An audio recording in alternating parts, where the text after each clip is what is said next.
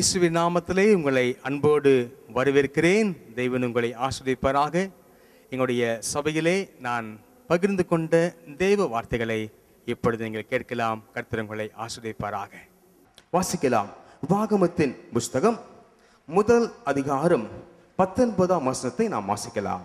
நம்முடைய தேவனாகிய கத்து நமக்கு கட்டளையிட்டபடியே நாம் ஓரேபை விட்டு பிரயாணம் பண்ணி எமோரியரின் மலைநாட்டிற்கு நேராக நீங்கள் கண்ட அந்த பயங்கரமான பெரிய வனாந்திர வழி முழுவதும் நடந்து வந்து காதேஸ் பர்ணையாவிலே சேர்ந்தோம். இந்த உபாகமத்தின் புஸ்தகம் கர்த்தர் எப்படியெல்லாம் அவளை நடத்தினார் என்று மோசை சொல்லுகிறதை பார்க்கலாம். இந்த இடத்துல அந்த வார்த்தைகளை சற்று நீங்கள் பாருங்கள். நீங்கள் கண்ட அந்த பயங்கரமான பெரிய வனாந்தர வழி முழுவதும் நடந்து வந்து காதேஸ் பெர்னியாவிலே சேர்ந்தோம் என்று பார்க்கிறோம். அப்போ தீவன் நடக்க முடியாத ஒரு பயங்கரமான உணாந்தரத்திலே அவர் நடத்தி வந்திருக்கிறார். அவர்களை எதற்காக தேவன் அவர்களை அழைத்தாரோ எதற்காக அவர்களை தேவன் எகிப்திலிருந்து கொண்டு வந்தாரோ எத்தனை தடைகள் அவளுக்கு உண்டானாலும் அந்த தடைகளை அவள் மேற்கொண்டு அந்த தடைகளை தகர்த்தெறிந்து தேவன் எதற்காக அவர்களை அழைத்து கொண்டு வந்தாரோ அங்கு செல்ல தேவன் அவளுக்கு கிருபை தந்தார் அதே தேவன் இன்றைக்கும் ஜீவித்துக் கொண்டிருக்கிறார். அவர் நம்மோடு கூட இருக்கிறார். இஸ்ரவேல் ஜனங்கள் ஒனாந்திரத்தை கடந்து வந்தார்கள். ஆனால் அவர்கள் சந்தித்த ஒனாந்திரம் அது ஒருவேளை எழுத்தின்படியான ஒனாந்திரமாயிருக்கலாம் அது மணற்பாங்கான தண்ணீரற்ற ஒரு பெரிய வனாந்திரமாக இருக்கலாம். ஆனால் நீங்களும் நானும் சிந்தித்துக் கொண்டிருக்கிற இந்த வனாந்திரம் என்ற அந்த வாழ்க்கை இந்த உலக வாழ்க்கையை அது குறிக்கிறது. இந்த உலக வாழ்க்கையிலும் கூட நமக்கு அநேகம் சோதனைகள் அநேகம் வேதனைகள் அநேகம் காரியங்கள் நமக்கு வருவதுண்டு. வந்தாலும் கூட நம்முடைய தேவன் நம்மோடு இருப்பதினால் ஹalleluya அனைத்தையும் நாம் மேற்கொள்ள கிருபலை கொடுத்து நம்மை நடத்துவார். கத்த நம்மை ஆசிரியப்பாராக இந்த இஸ்ரவேலுடைய வாழ்க்கை அது ஏதோ ஒரு நடந்து முடிந்துவிட்ட கதை என்று அநேகர் நினைத்து கொண்டிருப்பார்கள். ஆனால் அந்த இஸ்ரேவேலுடைய வாழ்க்கை அது எதற்காக அவர்கள் அந்த பாதையிலே நடந்தார்கள்? தேவன் அவர்களை எப்படி நடத்தினார்? எதற்காக நடத்தினார் என்று சற்று நாம் ஆராய்ந்து பார்க்க வேண்டும். ஒன்று குருந்திய பத்தாம் அதிகாரம் ஆறாம் வருஷத்திலே நாம் இவ்விதமாய் பார்க்கிறோம். அவர்கள் இச்சித்தது போல நாமும் பொல்லாங்கானவைகளை இச்சியாதபடிக்கு இவைகள் நமக்கு திருஷ்டாந்தங்களாயிருக்கிறது. இஸ்ரேலுடைய வாழ்க்கை அது நமக்கு எப்படி காணப்படுகிறதாம் சொல்லுங்க பார்க்கலாம். திருஷ்டாந்தங்களா இருக்கிறது. திருஷ்டாந்தம் என்ற அந்த தமிழ் வார்த்தைக்குரிய அர்த்தம் என்னவென்றால் ஆங்கில வேதாகமத்தில் பார்க்கும் பொழுது எக்ஸாம்பிள் நமக்கு ஒரு முன்மாதிரி. நமக்கு ஒரு மாதிரியை அந்த இஸ்ரேபில் ஜனங்கள் வைத்துவிட்டு போயிருக்கிறார்கள். நம்முடைய வாழ்க்கையிலே சோதனைகள் வேதனைகள் வரும் பொழுது நாம் எப்படி ஜீவிக்க வேண்டும் என்று அவருடைய வாழ்க்கையை மாதிரியாக வைத்து நாம் கற்றுக்கொள்ள வேண்டும் என்று நாம் பார்க்கிறோம். கத்தனம் ஆசிரிப்பாராக இன்றைக்கு நாம் தியானிக்க போகிற செய்தியின் தலைப்பெனவென்றால் நம்மை தேவன் நடத்தும் பாதை அல்லது நம்மை தேவன் நடத்த போகிற பாதை என்று நாம் பார்க்க போகிறோம். இஸ்ரவேலை நடத்தின அதே தேவன். ஹalleluya அந்த வனாந்திரத்தில் அவளை நடத்தினாரே. அதே தேவன் நம்மையும் நடத்த. அவர் உண்மையுள்ளவராக இருக்கிறார். ஹalleluya அவர்கள் ஒனாந்தத்தை எவ்விதமாய் அவள் கடந்து தேவன் அழைத்த அந்த கானானுக்குள் அவள் பிரவேசித்தது போல இந்த உலகமாகிய ஒனாந்தத்தையும் நீங்களும் நானும் ஜெயிக்கும்படியாக கர்த்தர் நம்ம கிருபை தருவாராக கர்த்தர் நம்மை ஆசிரிப்பாராக நம்ம எதற்காக அழைத்தாரோ உங்கள் எதற்காக தேவன் தெரிந்து கொண்டாரோ அந்த நோக்கத்தின் பாதையிலே கர்த்தர் உங்களை நடத்தி கொண்டிருக்கிறார். முடிவிலே கர்த்தருடைய நோக்கம் நிறைவேறும்படியாக ஜெபித்துக் கொள்ளுங்கள். அவர் நோக்கத்தை சித்தத்தை நிறைவேற்றியே அவர் தீருவார். கத்தர் நம்மை ஆஸ்வதிப்பாராக கத்த நடத்துவாராக. இஸ்ரவேல் ஜனங்களை தேவன் நடத்தின முதலாவது வழி என்ன? அல்லது அந்த வனாந்திரத்திலே அவள் நடக்கும் பொழுது தேவன் கொடுத்த சில ஆசீர்வாதங்கள் அல்லது தேவன் அவளோடு எப்படி காணப்பட்டார் என்று நாம் சில காரியங்கள் இன்றைக்கு தியானிப்போம். கத்த நம்மை ஆஸ்வதிப்பாராக. எடுத்து வைத்துக் கொள்ளுங்கள். உபாகமத்தின் புஸ்தகம் முதல் அதிகாரம் இருபத்தி ஓராம் வசனத்தை நாம் வாசிக்கலாம். இதோ உன் தேவனாகிய கர்த்தர் அந்த தேசத்தை உனக்கு முன்பாக வைத்திருக்கிறார்.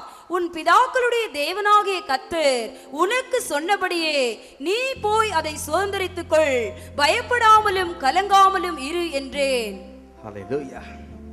இந்த இடத்துல கர்த்தர் அவளுக்கு முன்பாக இருந்த அந்த வனாந்திரத்திலே அவர்களை கர்த்தர் நடத்தினார். நடத்தி அவர்கள் பல இடங்களை பல வழிகளை பல ஆசீர்வாதங்களை அவள் சுதந்திரிக்க வேண்டியது இருந்தது. அதாவது அவளுடையதல்லாததை அவள் பெற்றுக்கொள்ள வேண்டியதான் இருந்தது. தேவன் அவளோடு இருந்தபடினாலே அவர்களை எல்லா காரியங்களையும் தேவன் சுதந்திரிக்க செய்தார் என்று பார்க்கிறோம்.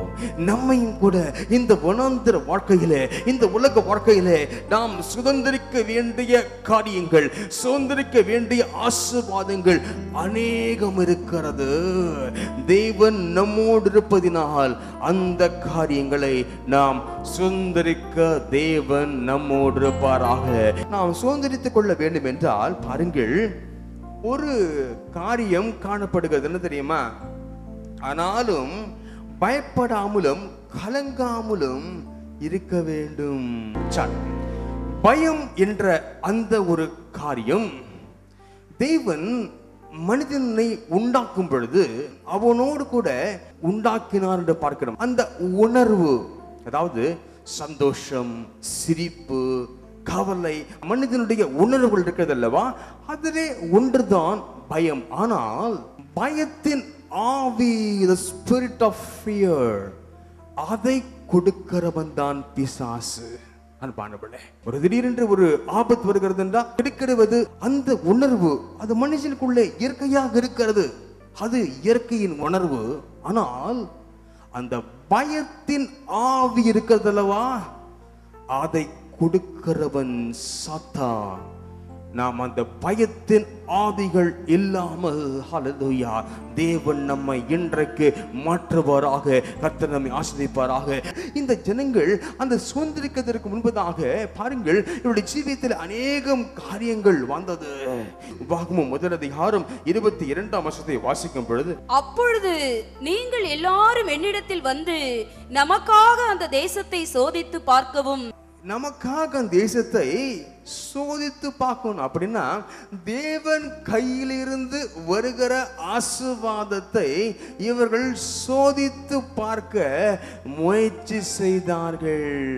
இந்த காரியத்தை கர்த்தர் விரும்புவதில்லை என்று பானவளே அந்த ஆசீர்வாதத்தை இவர்கள் சோதித்து பார்த்தார்கள் என்று பார்க்கிறோம்.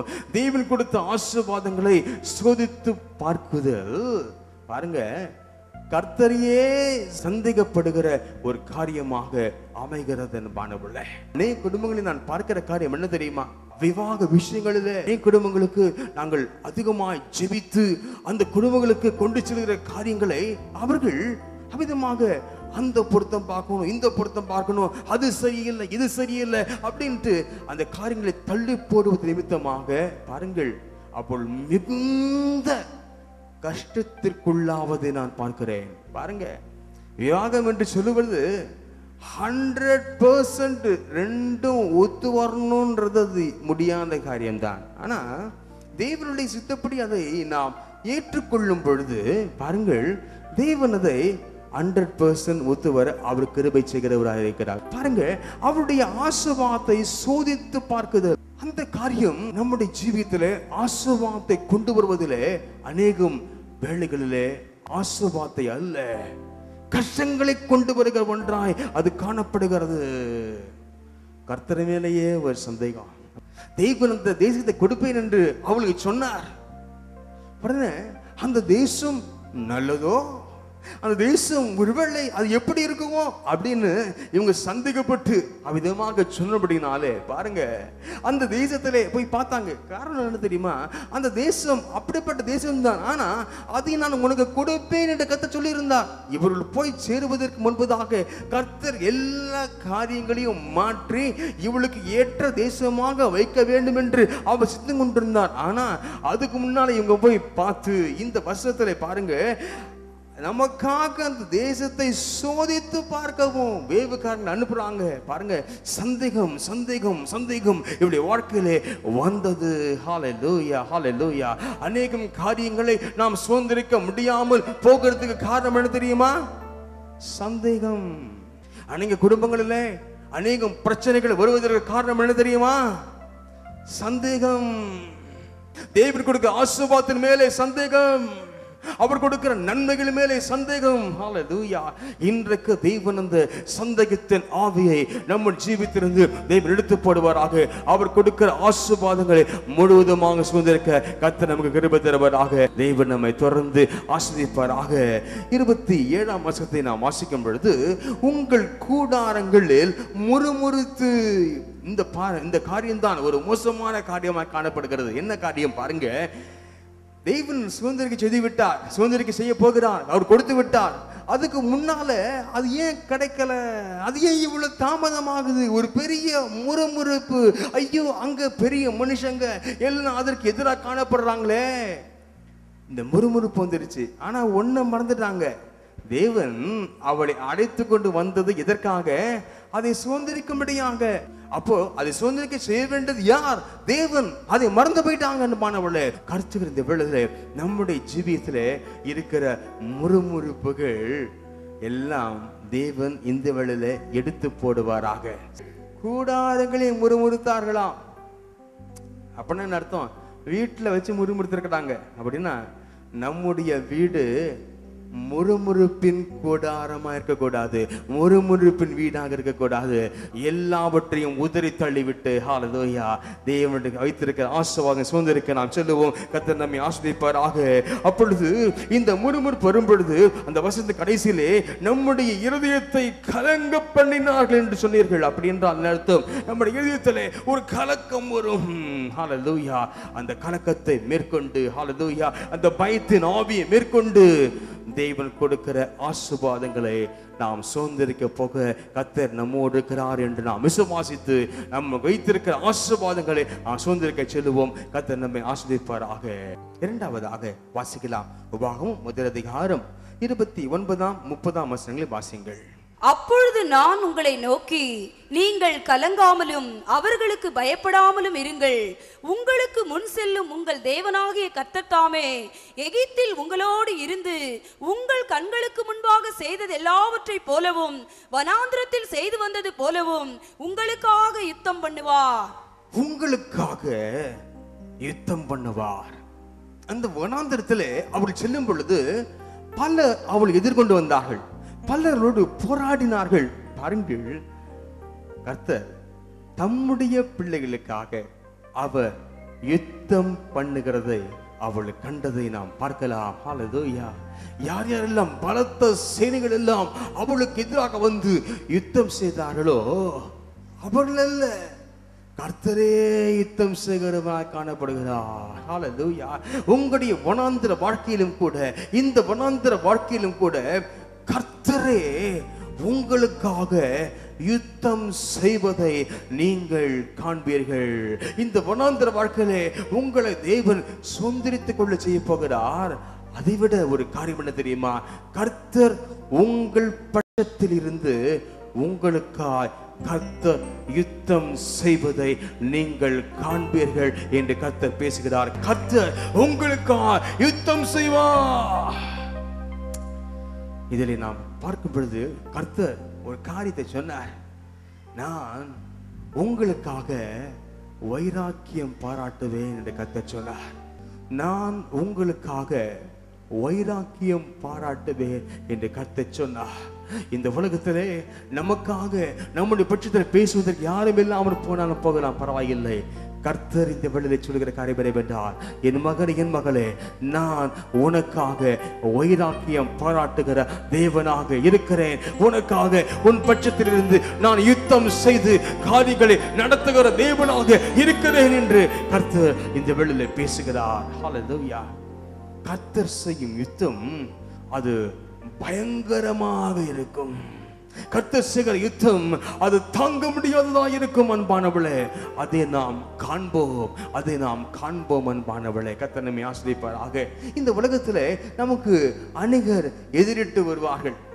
அந்த வேளையில நமக்கு கோபம் வரும். பாருங்க கோபம் என்று சொல்வது மனுஷனுடைய இயல்பு. ஆனாலும் உடனே அதை தேவனுடைய கிருபையினாலே நாம் அடக்கி கொண்டு ச்சே கர்த்தர் பார்த்து கொள்வா கர்த்தர் பார்த்து கொள்வா என்று நாம் விதமாக நாம் காணப்படுவோம். பாருங்கள் ஆனா அந்த பொழுது நாம் மௌனமாக இருக்கும் பொழுது கர்த்தர் நமக்காக யுத்தம் செய்கிறவரா இருக்கிறார்.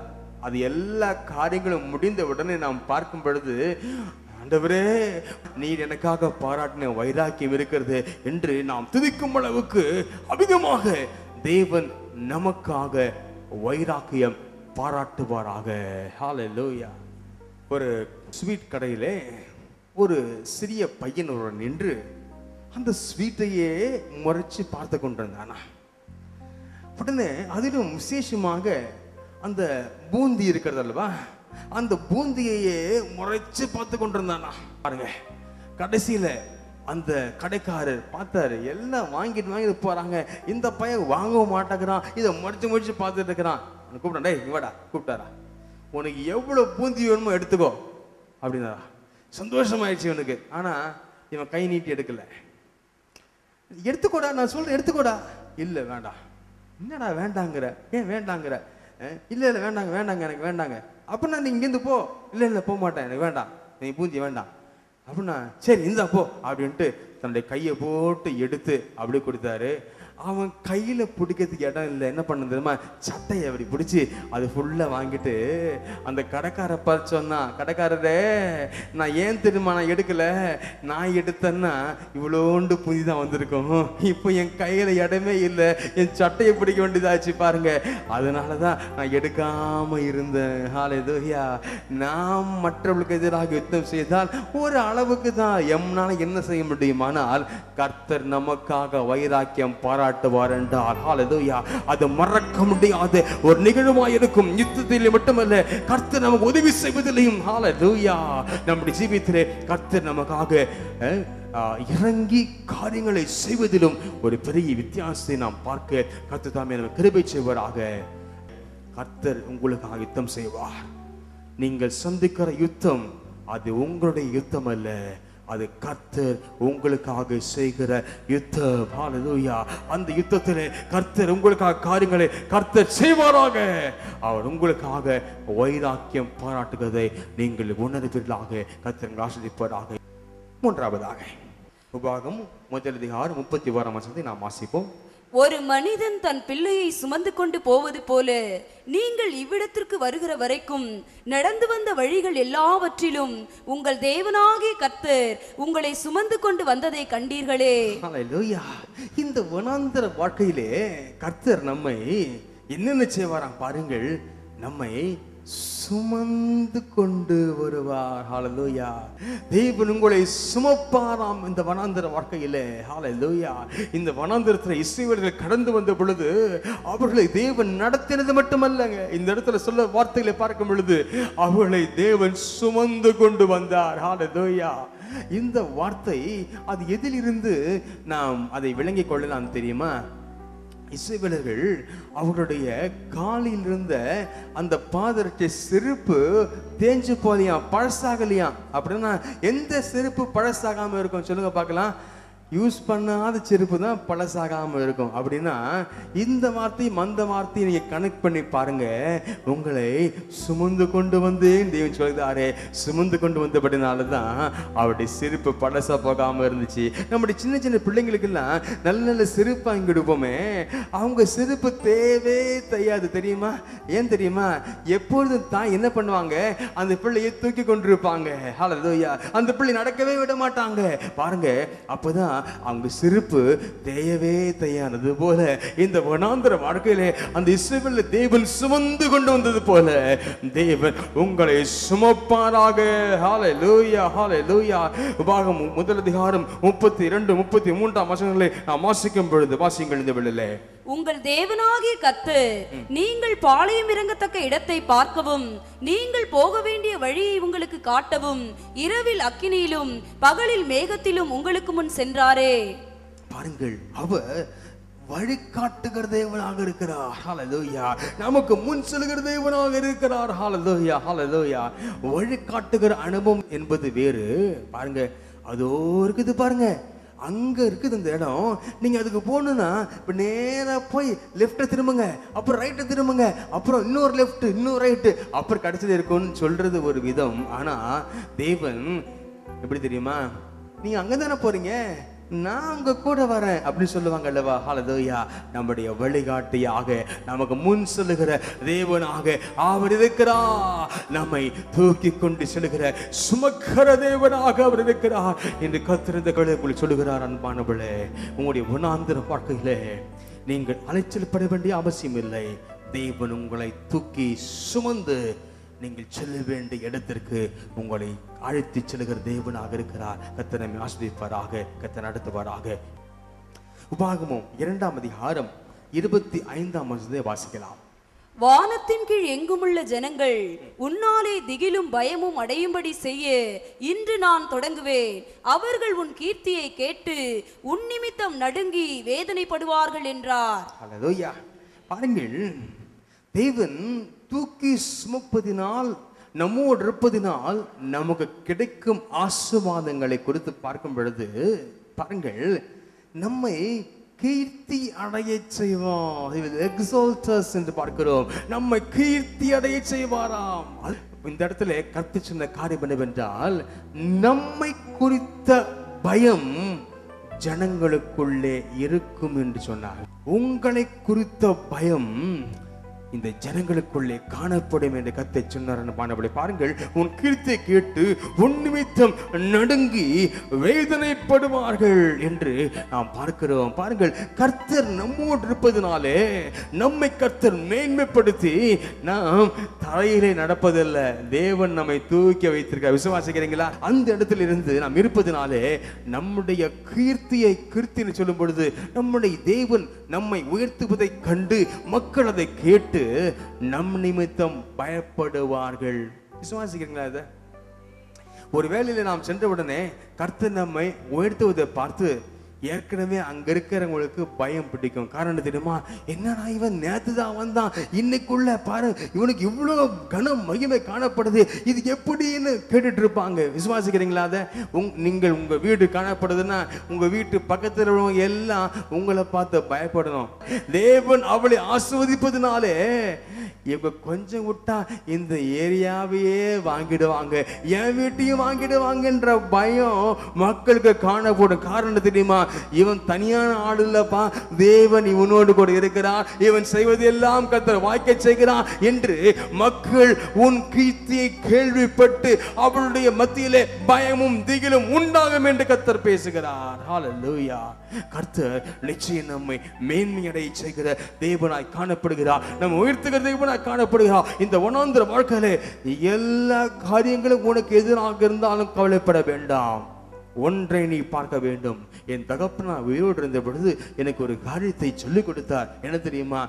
நீ உன்னோடு கூட எத்தனை ஜனங்கள் இருக்கிறார்கள் என்று பார்க்காதே. அது உனக்கு வெற்றியை தேடித் தராது ஆனால் உன்னோடு கூட ஒருவரும் இல்லாவிட்டாலும் உன்னோடு கூட கர்த்தர் இருக்கிறாரா? அதை மட்டும் உறுதி செய்து கொள் உன்னோடு கூட கர்த்தர் இருப்பார் என்றால் ஜெயம் உன்னை தேடி வரும் என்ற ரகசியத்தை என்னுடைய தகப்பன் எனக்கு சொல்லிக் கொடுத்தார் பானவளே ஹாலலூயா அது போல கர்த்தர் நம்மோடு இருப்பதை ஹாலலூயா நாம் உறுதி செய்து கொள்வோம் மீது எல்லாரும் நம்மை கைவிட்டாலும் பரவாயில்லை. ஒரே ஒருவர் நம்மோடு இருக்கிறாரா? அல்லது அந்த ஒருவர் மட்டும் நம்மோடு இல்லாமல் ஜனங்க எல்லாரும் நம்மோடு கூட இருந்தா அது பிரயோஜனம் இல்லை அன்பானவளே கர்த்தர் மட்டும் நம்மோடு இருக்கும் பொழுது நம்மை மேன்மையடை செய்வா. நம்முடைய பெயரை பிரஸ்தாபமாக்குவா நம்மை கேள்விப்பட்டு அணுக நம்மிடத்தில் ஒரு அளவுக்கு நம்முடைய பெயரை பிரஸ்தாபமாக்குவார் தெய்வ நம்மை பிரஸ்தாபமாக்குவாராக நம்முடைய பெயரை கீர்த்தியடை செய்வாராக. கத்தனை ஆசிரியப்பாராக. பாருங்கள் அவர் சொன்ன காரியம் உங்களை குறித்த பயம் ஜனங்களுக்குள்ளே பிடித்து கொள்ளும் கர்த்தர் உங்களை கீர்த்தியடை செய்வாராக. கத்தனை ஆசிரியப்பாராக கடைசியாக உபாகமம் இரண்டாம் அதிகாரம் முப்பத்தி ஆறாம் வசனத்தை வாசிங்கள் அர்னோன் ஆற்றங்கரையில் இருக்கிற ஆரோவேரும் ஆற்றண்டையில் இருக்கிற பட்டணமும் தொடங்கி கீலேயாத் வரைக்கும் நமக்கு எதிர்த்து நிற்கத்தக்க அரணிப்பான பட்டணம் இருந்ததில்லை. எல்லாவற்றையும் நம்முடைய தேவனாகிய கர்த்தர் நமக்கு ஒப்பு கொடுத்தார் எல்லாவற்றையும் தேவனாகிய கர்த்தர் நமக்கு ஒப்பு கொடுத்தார் அப்படின்னா என்ன தெரியுமா? அவர்களை எதிர்க்கிறதுக்கு யாருமே இல்லை. நடக்க முடியாது நாம் இதை ஜெயிக்க முடியாது ராட்சதா இருக்கிறாங்க அப்படின்னு சொன்னாங்க பார்த்தீங்களா? அது எல்லாவற்றையும் தேவன் அவளுக்கு ஒப்பு கொடுத்து பாருங்க ஒரு பெரிய சமாதானத்தோடு அவளை வாழச் செய்கிறார் என்பானவளே. இதானையா தேவர் கொடுக்கிற பெரிய ஆசீர்வாதம். என்ன தெரியுமா? ஓ இந்த வனாந்திர வாழ்க்கையிலே எதிர்ப்புகள் மிகுந்த இந்த வாழ்க்கையிலே ஒரு சமாதானமான ஒரு வாழ்க்கையை நமக்கு தேவன் நோக்கப்படுகிறார் அவர் நமக்கு சமாதானத்தை தருகிற தேவனாக அவர் இருக்கிறார் என்பானவளே.